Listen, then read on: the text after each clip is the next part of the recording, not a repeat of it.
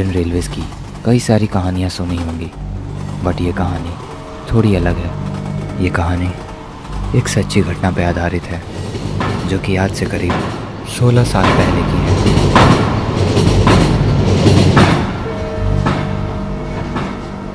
सार्थक Indian railways की मालगाड़ी में एक सिक्योरिटी गार्ड का काम करता था। आठ घंटे ड्यूटी करने के बाद उसे और छः घंटे की ड्यूटी मिली थी। थकान की वजह से कब उसे नींद आ गई उसे पता ही नहीं चला। और जब उसकी आँख खुली तो उसने देखा कि गाड़ी डिसबैलेंस हो रही है। ये देखने के लिए कि आखिर क्या प्रॉब्लम है, वो तुरंत वहाँ से बाहर निकला।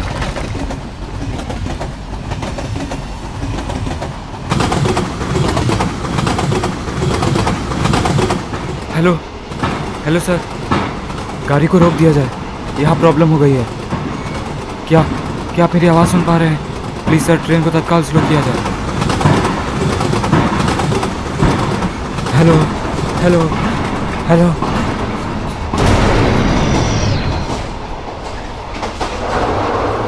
उसने बहुत कोशिश की कि वो ड्राइवर से कांटेक्ट कर पाए, मगर वॉकी टॉकी काम ही नहीं कर रहा था। वही हुआ जिस बात का सार्थक को डर था। उसका कंपार्टमेंट मालगाड़ी से डिटैच हो गया। और अब सार्थक को कुछ समझ नहीं आ रहा था। कि वो क्या करे।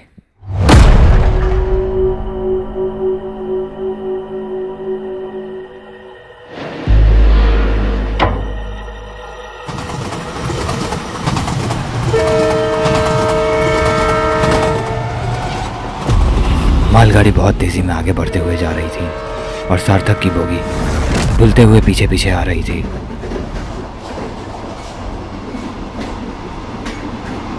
आगे ट्रैक पर एक डाइवर्जन आया। मालगाड़ी तो सीधे आगे चली गई, मगर सार्थक की बोगी वहीं डाइवर्ट हो गई और एक ऐसे रूट पर चली गई जिस पे अब कोई भी गाड़ी आती जाती नहीं थी।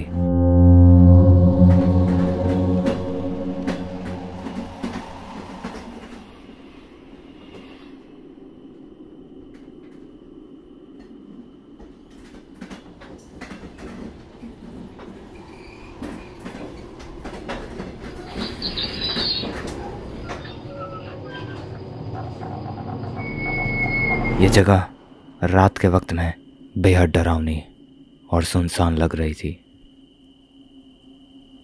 अब क्या करूँ मैं?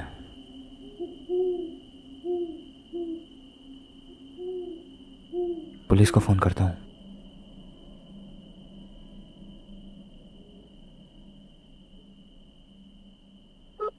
सार्थक के पास लास्ट ऑप्शन यही था कि वो रेलवे पुलिस फोर्स को कॉल करे। और उन्हें मदद के लिए बुला ले।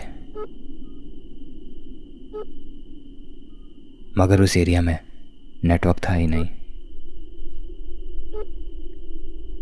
अरे यार, सिग्नल भी तो नहीं है यहाँ पे।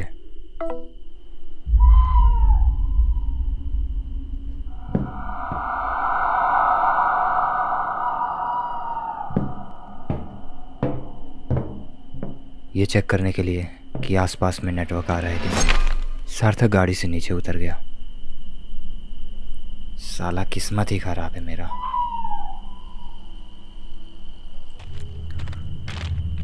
सार्थक की जगह पे अब बुरी तरह से फंस चुका था, अगर उसका फ़ोन। रेलवे पुलिस से कनेक्ट नहीं होता तो उसे यहीं रहना पड़ता। इस पूरे एरिया में एक भी नेटवर्क टावर नहीं था। इसलिए सार्थक, अब किसी से भी मदद नहीं मांग सकता था। असल में, वो यहाँ ट्रैप हो चुका था। लास्ट ऑप्शन उसके पास यही था कि वो चुपचाप जाकर अपने कैबिन में सो जाए और सुबह होने का इंतज़ार करे।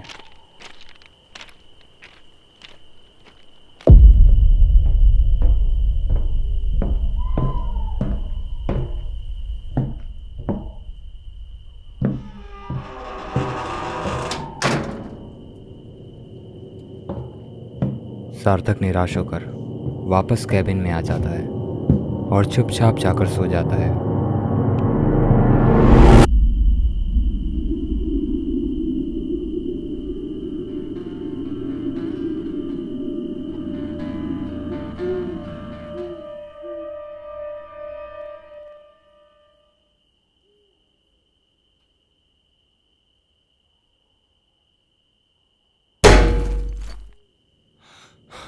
सार्थक अभी सोया हुआ ही था। तभी अचानक से कैबिन के दीवार पे एक जोरदार पत्थर की आवाज़ आई, जिसकी वजह से उसकी नींद खुल गई। कौन है?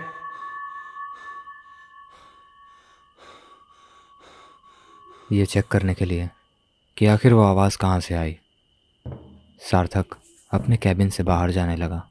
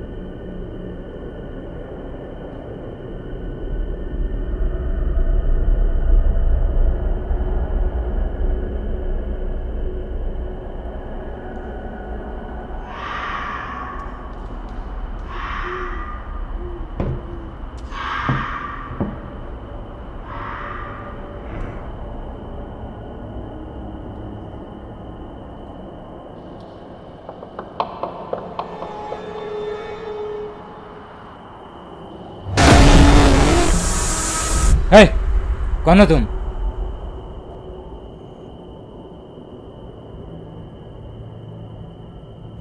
यहाँ आसपास में कोई गाँव है क्या?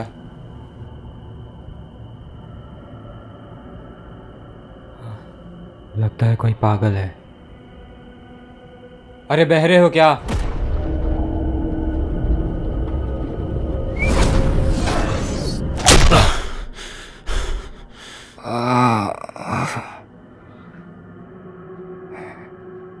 पागल हो गया है क्या?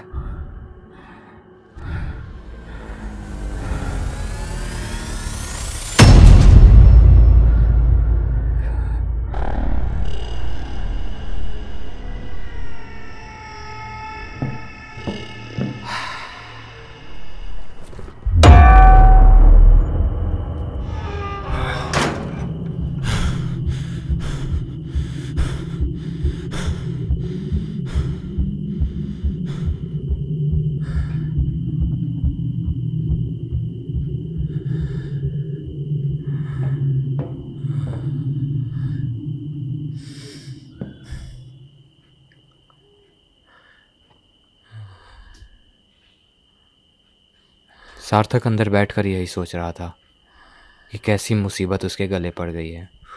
वो फिर से कॉल लगाने की कोशिश करता है, पर अभी भी नेटवर्क नहीं था। प्लीज़, कॉल लग जा।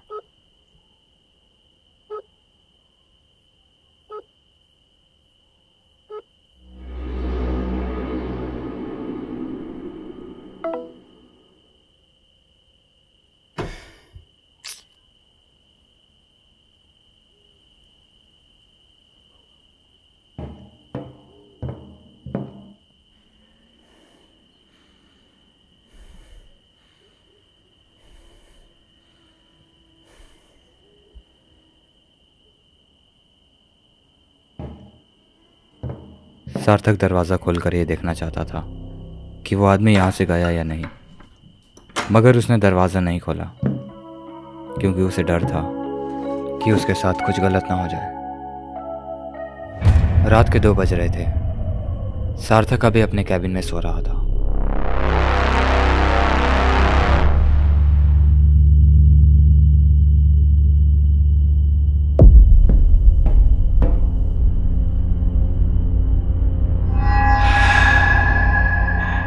सार्थक को लगा कि वो इंसान अब जा चुका है। इसीलिए वो आराम से सोया हुआ था, पर वो वापस आ गया। विंडो की तरफ़ से हाथ घुसाकर वो कैबिन का दरवाज़ा खोलना चाहता था, पर किस्मत अच्छी थी सार्थक की, जो उसका हाथ वहाँ तक नहीं पहुँच पाया।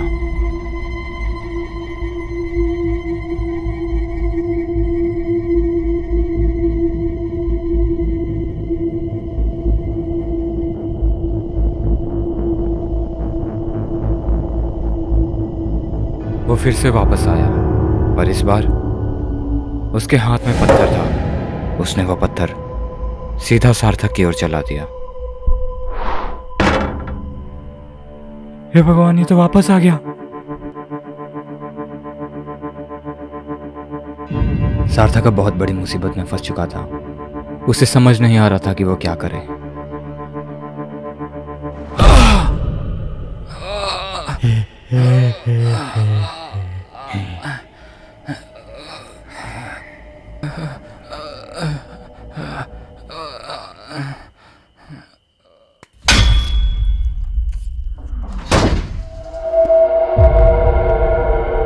अपनी जान बचाने के लिए, सार्थक ने उसे अपनी तरफ़ इतने ज़ोर से खींचा कि उसका सर विंडो पर लगकर फट गया और वो वहीं बेहोश होकर गिर गया।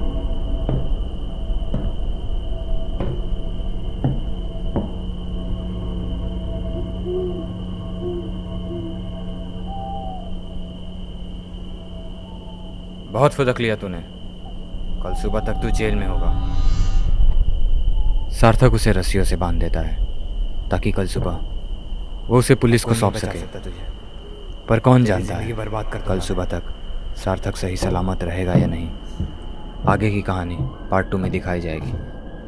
तब तक के लिए आप अपने आप को सही सलामत रखिए और हमारे चैनल को सब्सक्राइब करिए। एक और बात दोस्तों अगर आप हमारे चैनल का मेंबरशिप ज्वाइन करते हैं तो आप हमारे हर वीडियो को एक हफ़्ते पहले ही देख सकते हैं।